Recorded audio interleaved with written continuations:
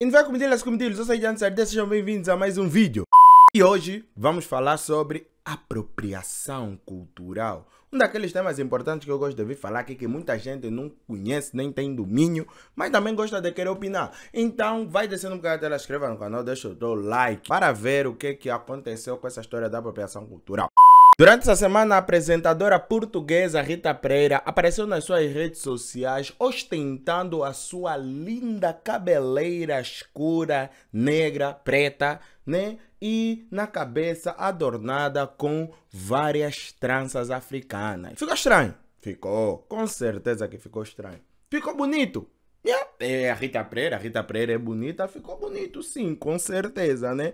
Mas é apropriação cultural. Nas redes sociais, muita gente a discutir. O que? Ela utilizou coisas africanas. Isso é apropriação cultural, por isso ou aquilo. E outras pessoas indignadas. Mas, meu Deus do céu, como é que vocês têm coragem de falar que isso é apropriação cultural? Então, as perucas que essas manas usam também não é apropriação cultural. Os cabelos loiros que utilizam também não é apropriação cultural. Então, o que que é ou não é? As maquiagens que utilizam também não é apropriação cultural. Então, ou seja, tem sido um grande debate em torno daquilo que é apropriação cultural. E não aparece muito ser quatro Pedro da vida que acha que sabe inteiramente de um tema e quer tentar tirar o amiguinho da reta, né? Quando está ser atacado e massacrado sobre um ponto e uma situação. Mas depois, eh, em vez de fazer uma pequena pesquisa e poder dar a sua opinião, não se faz. Muita gente tem feito isso, infelizmente. Mas o grande cerne da questão é as pessoas saberem inteiramente o que, que é apropriação cultural, de onde vem essa palavra e essa história. Até a pessoa poderia fazer uma coisa básica e rápida, que é ir na Google e fazer uma pequena pesquisa sobre o que, que é apropriação cultural. Mas eu tenho aqui uma definição feita e definida pelo antropólogo Rodney Williams, pesquisem para vocês também saberem e terem conhecimento, aonde ele diz que apropriação cultural ocorre quando uma pessoa ou grupo social hegemônico, hegemônico em uma sociedade passa a reproduzir comportamentos, hábitos, vestuários, objetos, linguagem de grupos sociais marginalizados né? Quando estamos a falar propriamente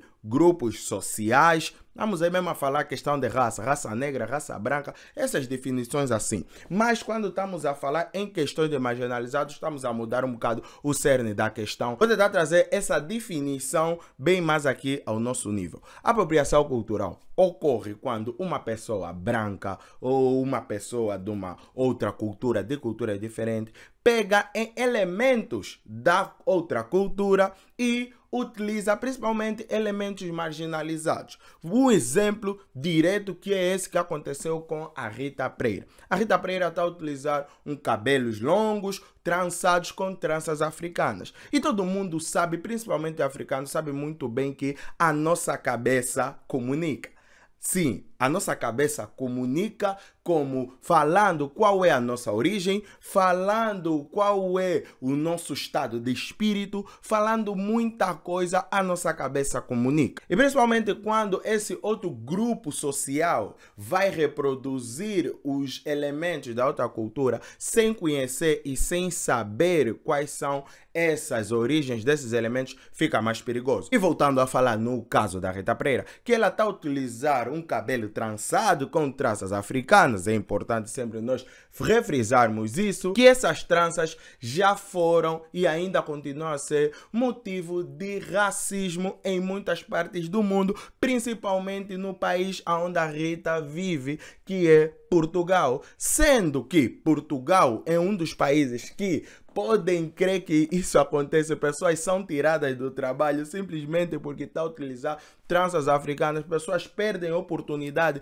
por estarem a utilizar as suas identidades africanas e vem a Rita Pereira e reproduz essas identidades africanas e passa a ser uma coisa boa, passa a ser uma coisa bonita e uma coisa fixe. O que não é o que isso realmente é uma apropriação cultural. É do tipo você vê um Cristiano Ronaldo a utilizar dreadlocks. É apropriação cultural, meus caros. O engraçado é você ver africanos a fazerem esse tipo de defesa pela Rita Pereira, mas parece que esquecem como é que as coisas acontecem aqui, em Angola principalmente, que nós vemos que a nossa própria sociedade é contra o próprio cabelo tipicamente africano e angolano. Quantas e quantas eh, universidades e faculdades, escolas primárias ou não, obrigam a cortar cabelo, a fazer não sei o que com cabelo, coisas identitárias do próprio africano. É a própria sociedade que tenta apagar. Mas agora que estão a ver que uma pessoa branca, famosa portuguesa, está a reproduzir aquilo que nós aqui dentro do nosso país país estamos a querer apagar, para eles lá tá bom. Qual é o sentido? Não consigo perceber. Como é que as pessoas acham que para uma Rita Pereira utilizar um cabelo tradicional africano, fixe, não podemos falar nada, porque nós também utilizamos peruca, cabelo loiro e maquiagem. Então não podemos falar nada. Mas quando param para olhar aqui na nossa banda, mandam cortar cabelo, tem que fazer careca, porque eu assim como estou, aonde eu passo, hum, e esse cabelo? Queres fazer o que com o cabelo? Não corta já por quê? Meu próprio cabelo, sou obrigado a cortar cabelo, porque esse cabelo é marginalizado por causa de questões raciais. É racismo estrutural que ainda temos esses problemas com o cabelo do africano. O grande objetivo da apropriação cultural é adotar os elementos específicos de uma determinada cultura sem esses mesmos significados e sem o próprio contexto da coisa, como eu estava aqui a dizer. Eu duvido muito e isso é impossível acontecer uma Rita Pereira a utilizar tranças de identidade africana e a passar na rua lhe chamarem aí essa macaca, aí essa escura e lhe pararem na polícia e a polícia começar a lhe empaputar por causa do cabelo. Mas isso acontece com africanos negros. Da Rita Pereira, nesse momento, aí que ela está a ostentar essa linda cabeleira cheia de tranças africanas, está sim realmente a fazer uma apropriação cultural, que é um mecanismo opressor para fazer com que certos elementos de certas culturas sejam simplesmente banalizados. E agora, sobre essa parvoíce das pessoas falarem, ah, mas Aqui as manas também utilizam perucas. Aqui as manas também utilizam maquiagem. Perucas e maquiagem, para que saibam, num contexto histórico, a história atribui a origem disso diretamente do Egito Cleópatra. Tá a perceber? Egito, Cleópatra. Então, perucas, maquiagem são coisa dos africanos também. Então, na apropriação cultural, quando você vê as nossas manas a utilizarem perucas e maquilhagem, mas quando você vê as moças europeias, americanas, branquinhas, branquinhas, a utilizarem essas coisas, isso é apropriação cultural. Mas, Etiandro, aqui também utilizam cabelo loiro, aqui também gostam de reproduzir coisas das culturas que fazem nos Estados Unidos, na Europa, na América, também gostam aqui de reproduzir. Calma, calma. Esses elementos que são reproduzidos aqui em Angola são elementos marginalizados. São elementos que uma comunidade falou que aquilo é negativo, aquilo faz você perder emprego e aquilo você pode ir preso por causa dele e são reproduzidos aqui? Acho que não. Não acho, tenho a certeza que não. E em determinados países, isso não é propriamente crime. A Rita Pereira não vai presa pelo facto dela ter feito essa apropriação cultural. Eu duvido muito. Mas deve ser chamada a atenção por esse aspecto que ela fez, né? É a apropriação cultural que ela fez. Entenda, por favor. Agora, se por acaso um africano, negro, angolano começar a pegar identidades dos brancos para trazer aqui, aí podemos falar que é apropriação cultural. Por exemplo, um africano, angolano, moçambicano, nazista. Isso é apropriação cultural. Até ele mesmo está ser burro. Até isso não é só apropriação cultural. É mesmo burrice. Um africano negro fascista.